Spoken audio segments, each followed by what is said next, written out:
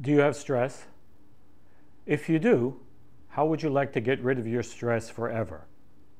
Well, listen to the end of this video and I will show you a secret that will help you get rid of, well, let's say at least 85% of your stress. Not too bad. So let's examine stress for a minute. Where does stress come from? What is the origin of stress? And I have a statistic for you.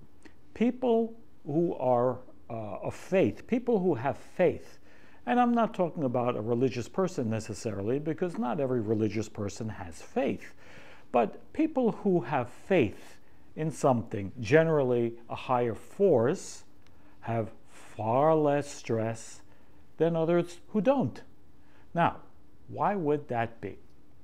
Because they take their uh, faith in themselves, which is faulty, because we are all faulty, and internally we know that, and they put it outside of themselves. Now, this is a tremendous spiritual secret, and there's tremendous power in it.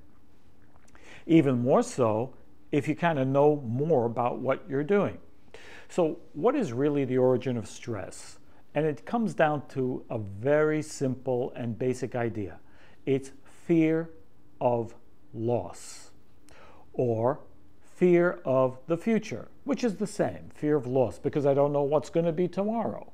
And when I don't know what's going to be tomorrow, if I'll be healthy tomorrow, if we'll have enough money tomorrow, if business is going to continue going well tomorrow, if uh, my job, if I have job security, tomorrow. All these fears of loss create this uncertainty for us, and uncertainty creates stress. Uncertainty without an anchor creates stress. Now, what's the anchor? Anchor is faith.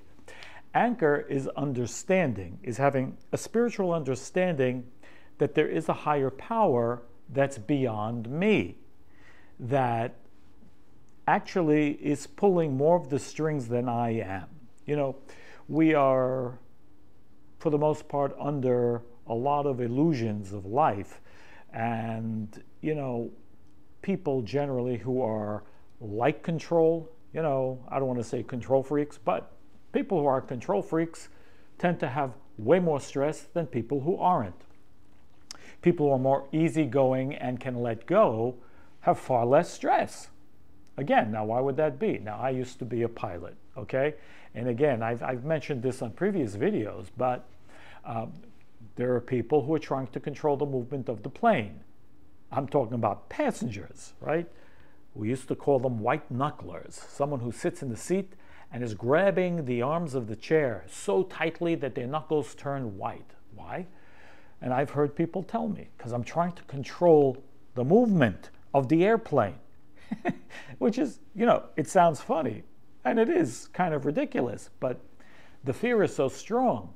It causes so much stress that I am not in control of whatever's going on with the airplane. And if it gets a little bumpy, I'm even more stressed. You know, has was a time when I never used to like to be in the back seat of a car. Same idea, because I'm not driving. And I might tend to get even nervous when someone else is driving a little bit aggressively, even though I might be an aggressive driver occasionally. I don't mean to be, but and I try to tone it down. But if I'm not the one driving, then, you know, please slow down, you're scaring me. So the point here is to be able to let go and understand if I'm doing the necessary work, that I need to do. Okay? Uh, so I'm not talking about, well, we're going to have enough and I'm going to sit on the couch and put my feet up on the counter, right, on the, on the table. No. Of course, nothing's going to happen there. But if I'm doing the work that I need to be, if I'm putting the effort, you know, whatever every situation requires of us, a certain necessary effort. If I've put it in, and I am aware that I put it in, then I must learn to let go. And like they say, let God, let allow your faith in higher power take over because you can't control it. Okay? So many things are based on our destiny that, and you know, we knock ourselves out trying to change things and we may not be able to. Change is possible, but we must know how to do that. Okay? But that's for another video. Here, we're trying to change the outcome by removing the stress factor. Stress is uncertainty. And unfortunately, most of us are not aware that the more we allow ourselves to go into this state of uncertainty and stress out, unfortunately, we create a blockage.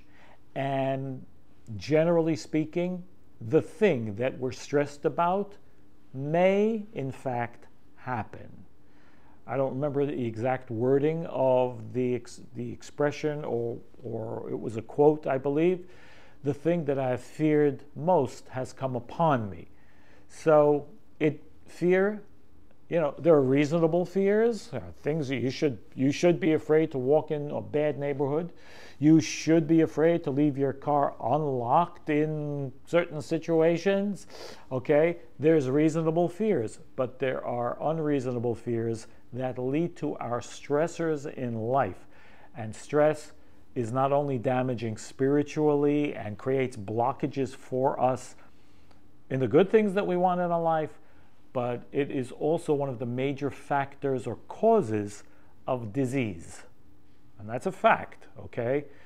Uh, which I won't go into, but you can all research that. Stress as a cause of disease. At least 85% of diseases are, on the root level, stress related. But really, stress is a spiritual issue. Remember, stress is happening in our mind. And that's the only thing we have control over our thoughts, our mind. A negative thought comes in, we have the ability to push it out and replace it with a positive thought. So if you want to remove stress in your life forever, or at least 85%, then we must practice letting go and allowing the universe to drive while we make the effort that's necessary. When we've made that effort and we've done what we need to do, and it doesn't matter what it is, then it's time for us to let go and whatever happens and accept that whatever happens is the best that it possibly can be. Be blessed, everyone. Remember, give the video a thumbs up if you like it, and hit the subscribe button here if you're not already subscribed. And if you're interested in a 30 minute free consultation with me, go to rabbiabe.com and I will see you over there. All the best.